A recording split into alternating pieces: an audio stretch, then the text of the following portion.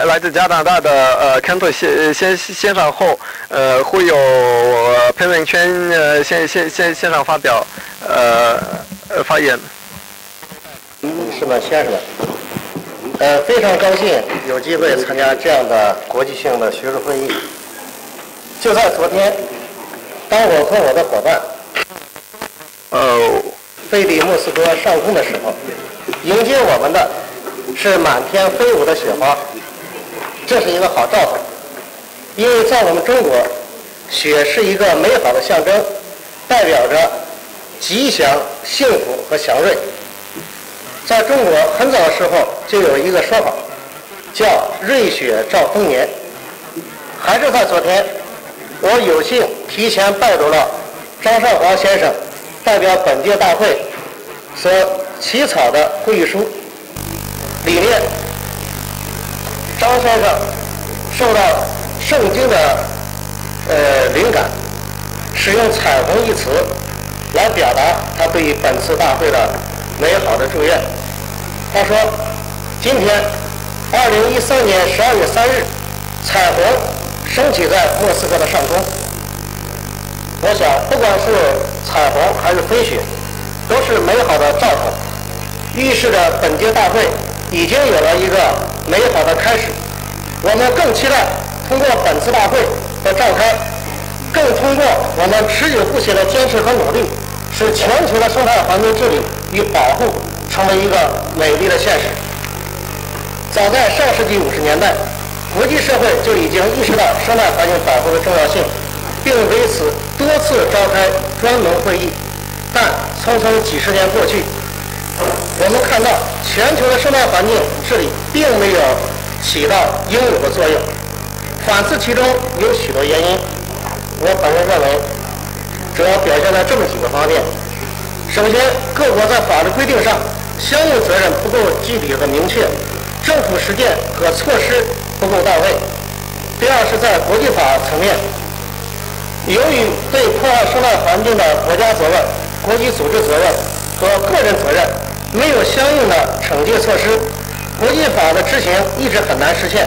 各个领域之间的法律规则缺乏联系和呃协调，造成了彼此之间的交叉甚至冲突。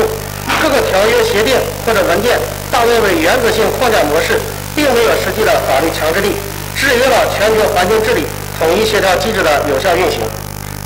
生态环境治理源自于人类文文明发展的共识，统一的法律运行规则又是其中最为有效的保障。文明的共同发展始自于共同的接受和认同，要求共同的运行机制需要建立统一的价值准则和统一的规则体系。这是一个动态的过程，因为它的产生与发展与全球生态环境治理的客观需要是相伴而生的，也是为它服务的。全球生态环境在当今时代早已不是狭义的自然性生态环境，它包括社会性、人文性乃至精神性生态环境，包含的是整个人类生活的氛围和状态。生态环境治理解决的是人与自然，并在此基础上人与人之间的关系，追求的是人与自然、人与社会的和谐相处和长久发展，因此更容易也应该找到统一的价值。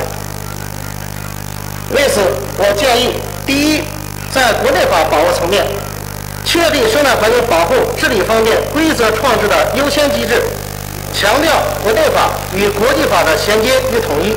减少国内法制定的程序繁杂，缩短国际统一标准和规范在国内法接受的时间。第二，在国际法保护层面，出台严格而又具体的生态环境保护措施，并从公民意识培养入手，呃，实现全球生态环境治理的协调统一。在国家责任、国际组织责任、个人责任等方面。建立更具权威且统一的法律规则，制定系统的法律责任机制。第三，国际统一协调机制层面，应尽快建立统一的法律运行规则和机制，由统一的机构或部门根据自身的性能，积极协调各生态环境治理和保护实践，为使全球统一的法律运行机制尽快得以建立，把握各国协同原则。人类整体权益优先原则、和共同占有差别原则。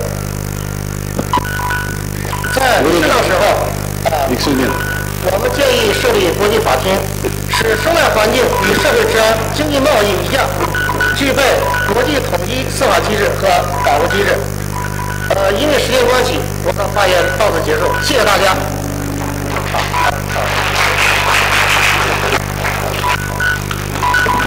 этот противный звук, это есть финал. Так, сейчас прошу профессора Кента, Великобритания. А есть у нас профессор Кент? О, э, Шанхай Файен.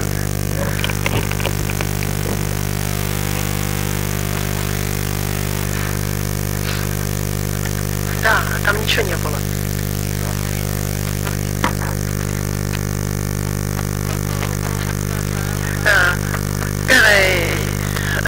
女士们、先生们，上午好！我很荣幸的今天来到这里。我们今天讨论广泛的问题。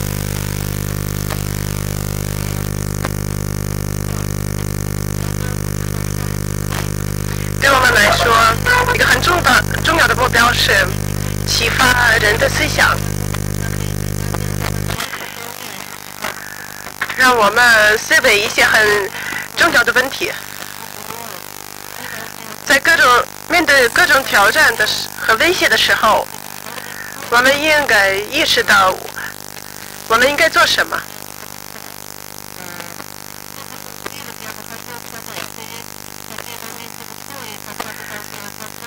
莎士比亚说：“历史上有一些时期，在这些时期，我们应该回顾和反思我们的过去。”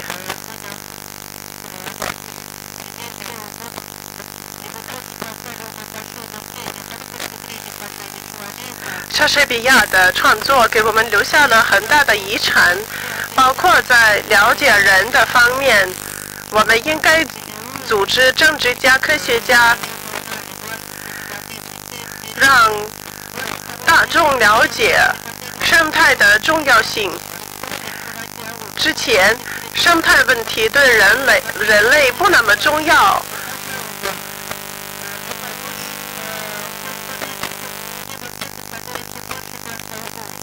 我们越来越关注生态问题。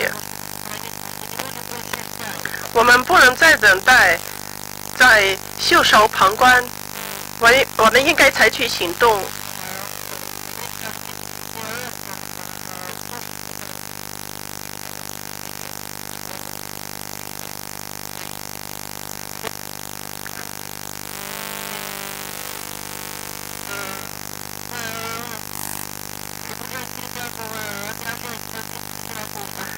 生态环境在英国的文学，在英国的剧场、话剧。也得到了体现。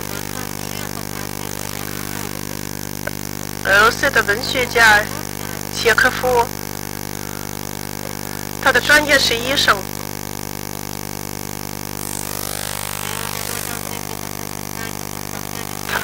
他从，因为他有医学知识，他能够很好的做出诊断。他的诊断就是关于人的感情培养。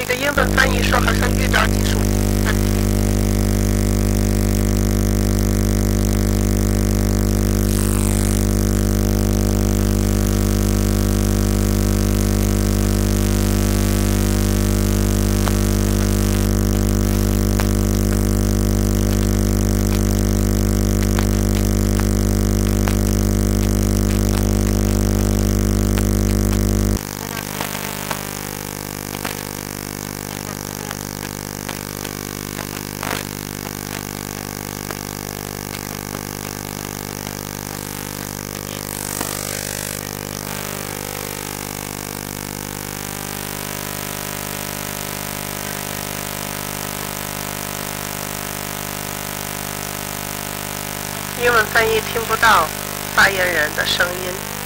不好意思。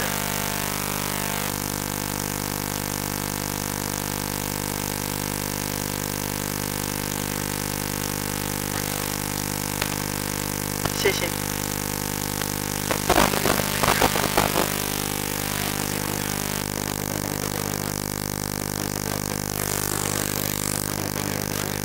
好，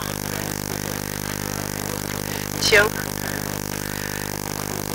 全球人民推进组织秘书长彭明宽、明彭明宽先生发言。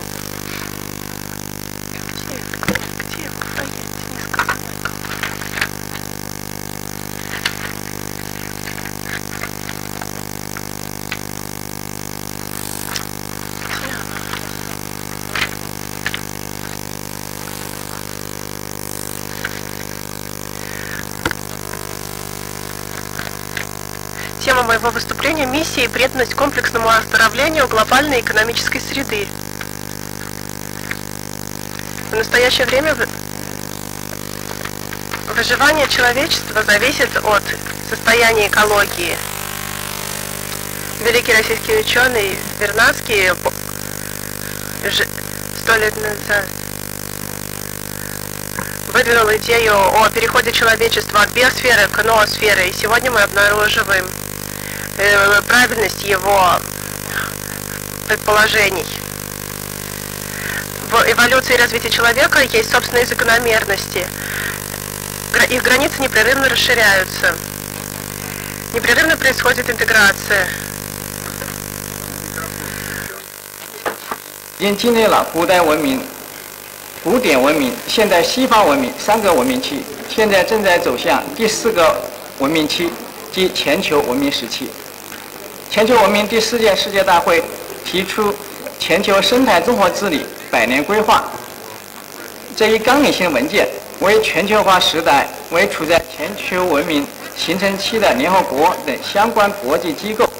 为国际政治或学术组织、国国政要或科研单位绘制了一幅全球生态环境综合治理的宏伟蓝图，呼吁成立全球生态环境综合治理机构，又为实现这一蓝图提供了坚实可靠的政治保障、资金保障或人员保障。本次大会还讨论全球紧急状态监测预警或应急响应系统，或举行全球研究国全球研究国际科学院第一届工作会议，这对全球生态综合治理来说都是很好的配套措施。全球综合治理机构的组建或启动，寄希望于联合国及各国政府对人类面临的全球生态环境综合治理迫切性的共识，寄希望于国际环保组织或科研单位的大力支持，寄希望于国国政要或学界领袖们的高瞻远瞩或奉献精神，寄希望于所有关心自己在内的全人类前途的紧迫感或使命感。科技的日新月异给我们当今生活带来了便利或进步，人们的生活范围也从某一地扩展到整个世界。地球村的概念已被各国人民所接受，在这个地球村里，人口或移民问题变得越来越突出，全球经济交往已经融为一体，密不可分。一个国际、一个国家的经济繁荣可以带动世界经济的增长，一个另一国家的经济动荡或金融危机也会迅速波及其他国家，造成连锁的世界金融或经济危机。生态环境中的诸多问题，如温室效应、沙漠化、水土污染等等，都只能通过全球各国相关机构的通力合作才能得到解决。因此，为了共同的大地母亲，为了我们的子孙后代，全体人类，特别是各国、世界各国的领域的领袖们，应当响应本届大会或与会者对全球生态环境综合治理的呼吁书，积极行动起来。我们看到，在一个幸福的家庭中，兄弟姐妹之间都是相互帮助或彼此体贴的。家业的兴衰取决于家庭大家的勤奋的工作、努力的学习和不断的创新。在遇到困难时又能同心协力、同舟共济。是这样的，一个家庭的兄弟姐妹中，每一个人的力量、水平或能力都是不同的，也是有限的。但是只要大家齐心协力，就能解决家庭所有的困难。这里面的力量是指导，这里面是指指导着他们这么做呢，是共同的血缘关系，是因为每一个家庭成员都有一种对家族安危、荣誉的责任感、使命感和奉献精神。当然，在一个国家里，在一个家庭里，家庭成员中，那些最有力的、会挣钱的成员，往往在家庭事务中扮演着重要的角色。我们把国家的范围扩展到，把家庭的范围扩大到国家，情况是一样的。一国内的各个民族、各个省份之间，呃，那普拉特那比什么？呃，我这个报告书面的都有，然后。呃，就讲这些，谢谢大家。Спасибо. Видите, как современные технологии помогают нам 好，谢谢。 呃，李车。下位。呃，下位发发言人是来自英国的贝茨呃教呃呃教教授，呃讲呃贝茨先生讲完之后呢，会请欧拉扎威先生那、呃、做做发言，呃欢欢迎。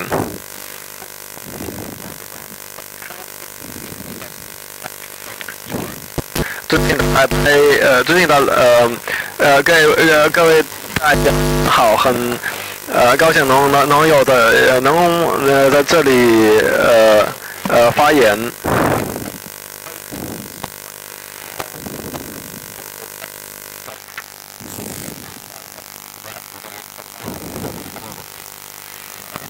我的报告的题目是呃全球的国籍。呃，全球的国籍。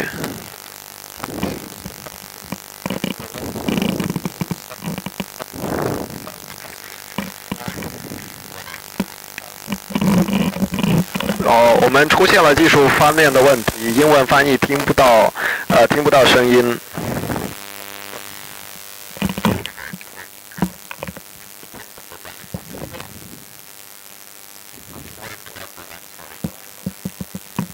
因为翻译听听听不到声音，我们翻不出来。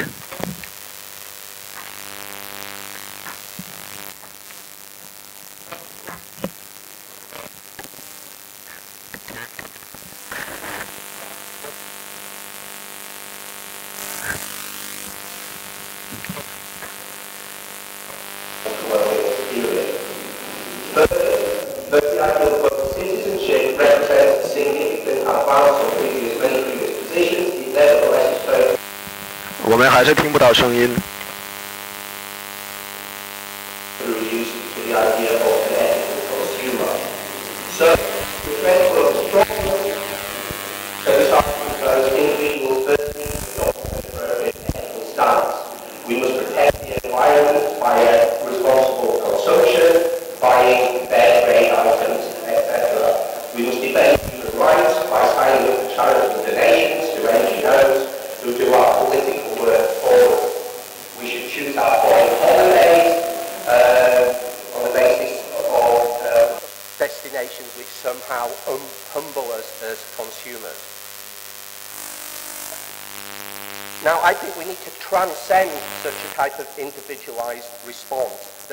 Very important thinkers, I think, which allow us to address these issues.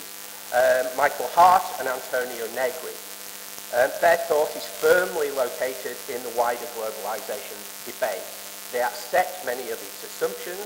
In particular, they go along with the idea that the world is increasingly globalized, communication and resource flows transcend the nation state. We have gone beyond imperialism and entered a new paradigm, the paradigm of empire with a capital E. The nation state no longer has the power which it once had to regulate information and capital flows, or indeed the actions 现在信息的流量大大的提高增加，主权国家已经无法控制。 所以应该建立新的主权形式。因此，主权采取了新的形式，包括民族国家的主权和超民族、超国家的主权。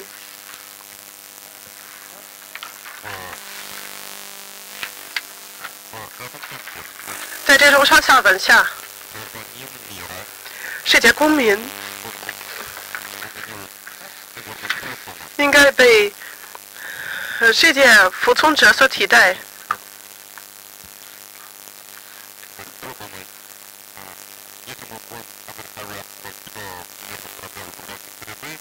如果我们针对全球生态问题和全球文明、全球公民问题，我们就应该避免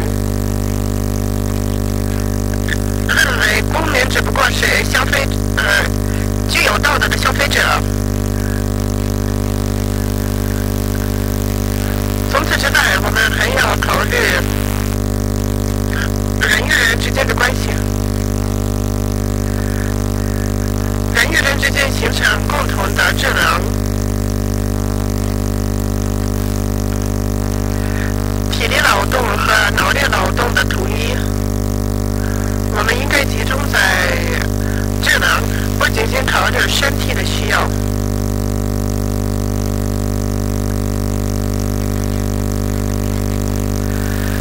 这对于我们了解后现代主义的范式很重要。我们应该避免。好，好，我差不多讲完了。好好，应该结束。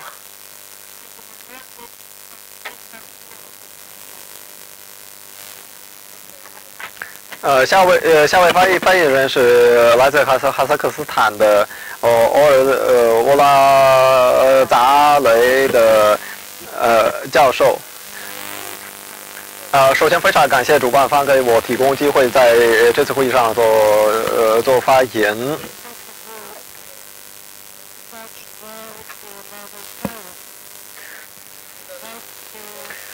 呃，我相信这次呃世界级的论坛会带来良良良好的结果。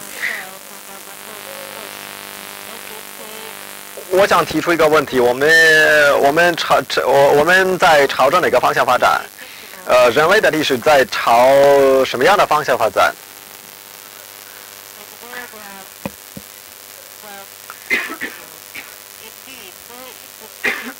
如果我们充分呃思思考这个问题，我们呃我们会发现，我们还是不太明白我们的我们所呃我们在朝着什呃什么样的方方向走？呃，我我们不知道。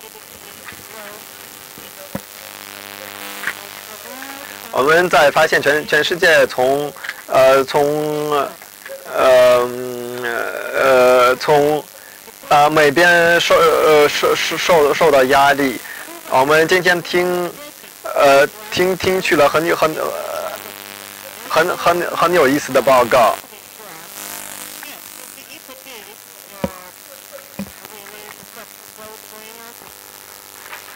呃和但是呃在场呃如果在在在场呃呃会有商吃呃会有商商业界政政政政治界的代表呃我们呃可能会有更多的呃呃良好的结呃结果呃我们要积极把政治界商商业界的代表呃引入。呃呃广呃广广广广泛讨论，以便呃以免空呃空谈，请你们看看一下呃屏幕呃屏幕上的呃图案，这是呃转转转型期的特点，呃转型期呃呃嗯。呃，人文智智智能文明的呃基础是精神的呃价值，另外的特点是生态呃呃生态环境保护。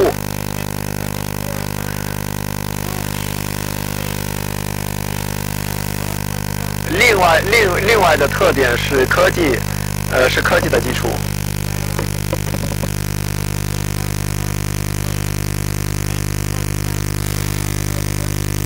很多呃科科学家呃呃都指出呃经济危机会持续到二零呃二零年，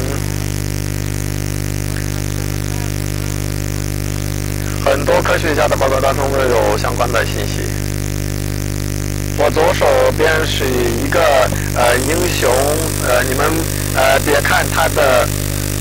呃，别看他的年龄，但是呃，他的呃呃，但是他采取呃积极的行动。呃，过呃几十年，我们就呃呃没有，我们就没有这些这这个这些人了。希望我们呃，希望在场的各位呃来宾会向呃向呃向他呃学习。啊，开耶夫先生曾经呃说到，如果呃我的倡议会呃得到实现，呃我们呃就会有就会受到良好的呃呃效果。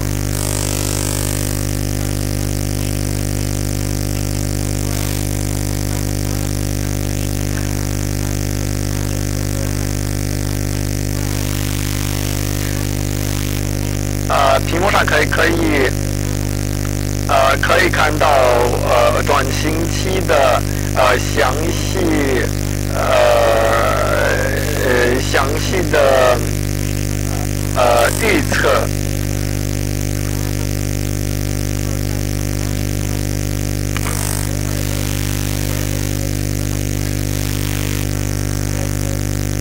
呃，这里有几个呃呃主要因素，呃呃，一点是呃社会社会全球化，另外一点是呃创新，呃创呃创新的突破，另外的一点是宇宙，是宇宙的开发，呃。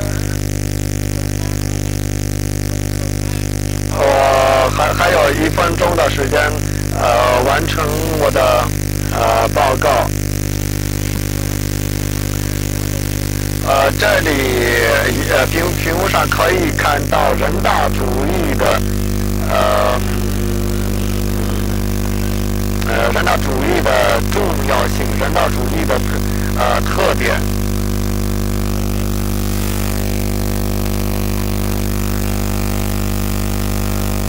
上面我可以看到，我应该呃采取什么样的呃行动才能啊达到出呃人呃人道主呃主义社会。呃，我的报告就啊我呃就就到这儿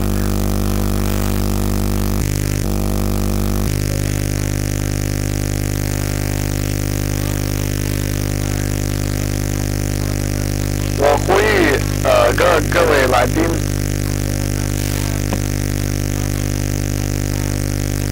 啊采取更加积极的行动，要呃把权力和呃科学相结合。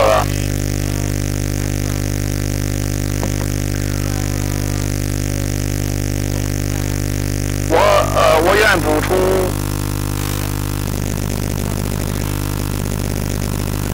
我想补充说几句，呃呃，全力与呃科学相结合这一这一说法很呃很很很有意思，很呃呃很复杂。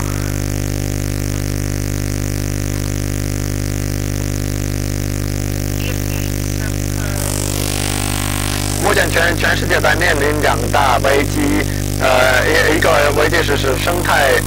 呃，是自自自自然危机和呃呃呃大大自然的危机和呃呃经经济危机，呃呃生态环境的危机跟呃经济呃跟经济呃危机有密切的呃关系。呃，我认为呃大呃自自然的危机比任何一个危机还呃重要。我想说一下马克思主义在呃生态在呃生态环境保护在在环保呃呃呃方面呃做的贡献是什么样的？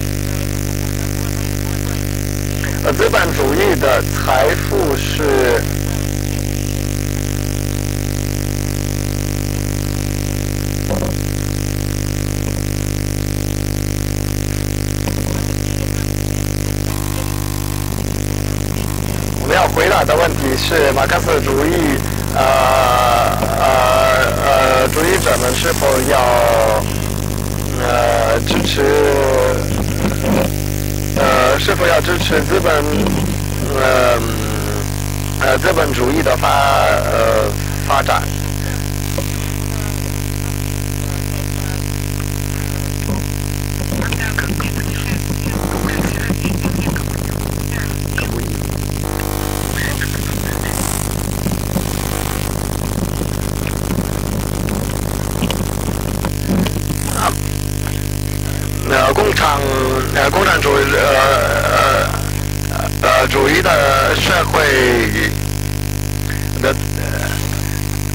特点是这样的，呃，每个人的需求跟呃愿望有呃有密切呃呃关系。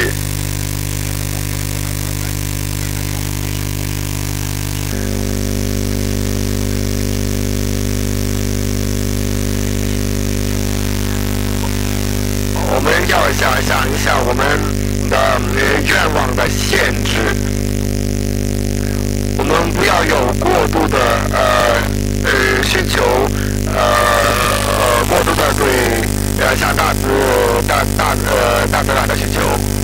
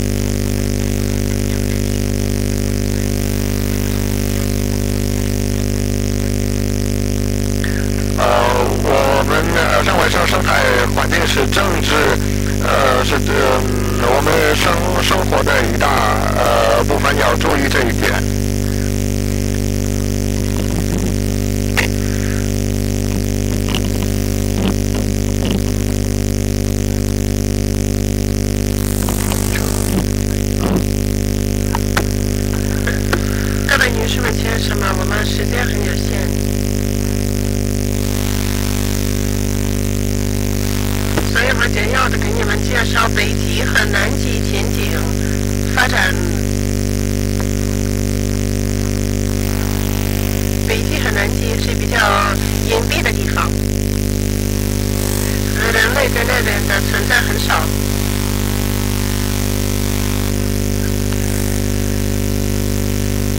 北极和南极蕴藏着很多的能量，一旦能开发这个能量，我们就不需要使用天然气了，就可以开发新能源，这些新能源不造成环境污染。以便实现这个战略。俄罗斯联邦已经做了一个总结，一个建议。这是我们我们的机构向俄罗斯联邦提出建议。建立一个新的国际组织、经经济领域的组织、进行科学研究的组织，在北体同盟框架内的组织，可以参与的国家是包括中国、白俄罗斯、塞尔维亚、俄罗斯。以后还可以加入，呃，还可以吸引。哈萨克斯坦等其他独联体国家。不过应该一步一步一步的走，不能一下子笼括所有的国家。为了应用北边的交通通道，我们应该建立新的基础设施，包括港口、机场。城市、海关、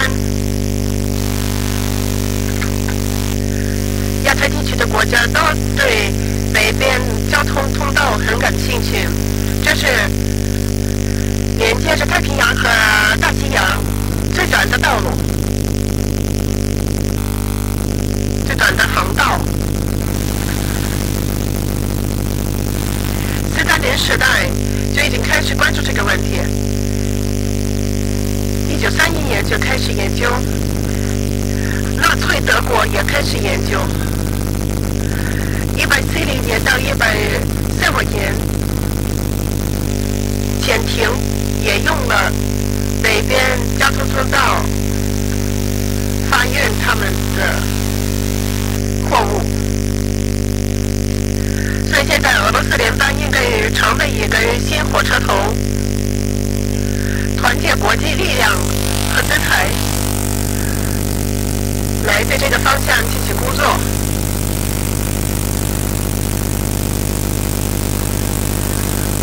很长一段时间，北极的开发处于停滞的阶段阶段，而。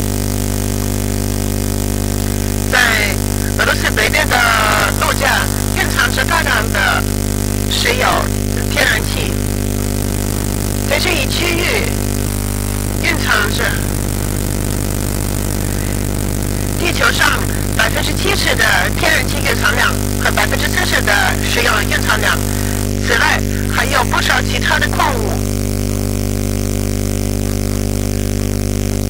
还有稀土金属等等。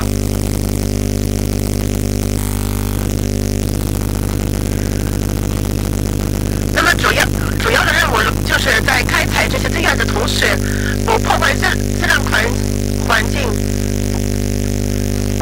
我们的未来。因为时间的限制，我不能自己的阐述南极的问题。南极的开发也应该加入到未来的经济发展战略。一百五九年。已经签署了一个国际条约，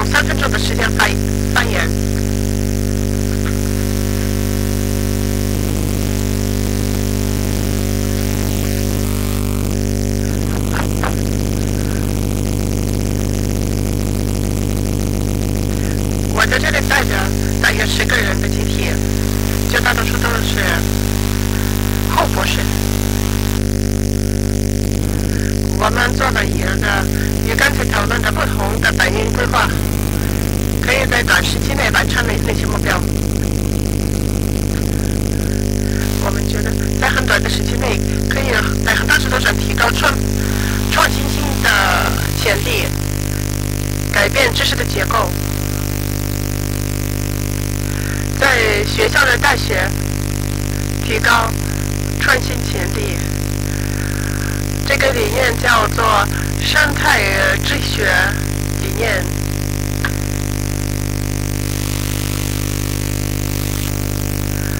我们提出了一个创造的活逻辑、我数学，他们来替代亚里士多德的形式逻辑，可以取得很快的效率。只要我们能够进入新的呃，能吸收新的概念，形成新的世界观，有一个新的有一个规律，就是我们应该否定我们我们的昨天，就是严格的批评我们昨天所作所为。这样就会启发我们，呃，创作。通过自我否定，可以很快的提高自己的创造潜力。接下来我在发言中更详细的讨论这个话题。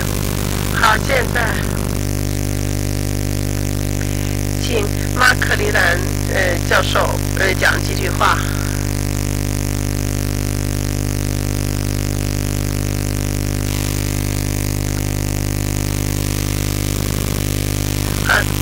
有些技术性的，就是现在我们二点开始午饭，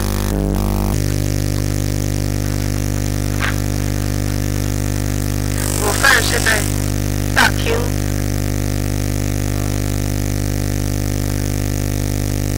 一些工作人员会告诉你们到哪里去。三点整，大家都是大家都有安排，可以看到三点整，第三场就要开始。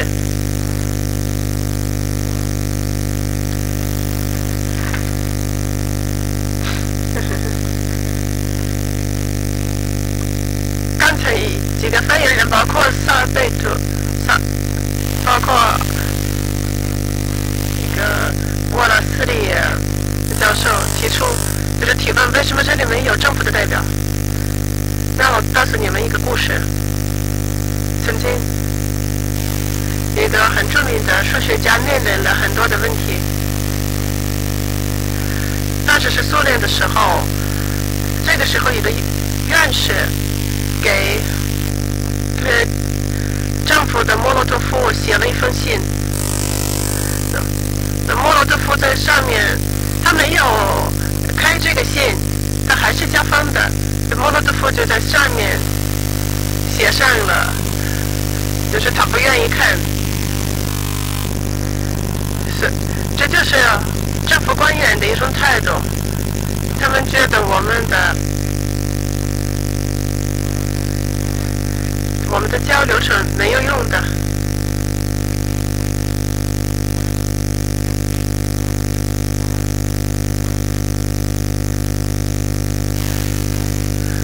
本来就有这种想法，但是后来发现，后来已经几十年后研究了答案，在这个答案中发现了其实有这封信的十个副本。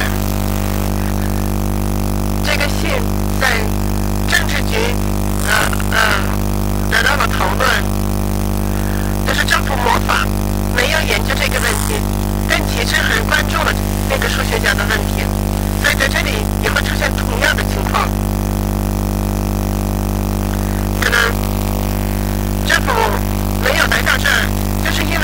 是他们自己的工作。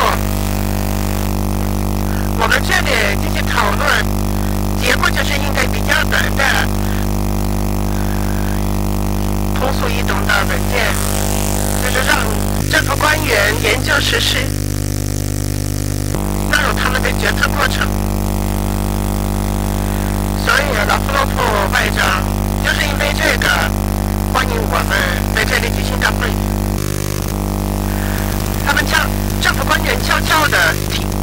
听我们的意见。我们的工作很有意义。谢谢各位发言。